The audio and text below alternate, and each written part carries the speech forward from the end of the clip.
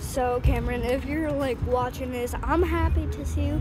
Um, crap. This is my friend. Callum. You already saw his videos. You should go subscribe to his videos, but like, sorry.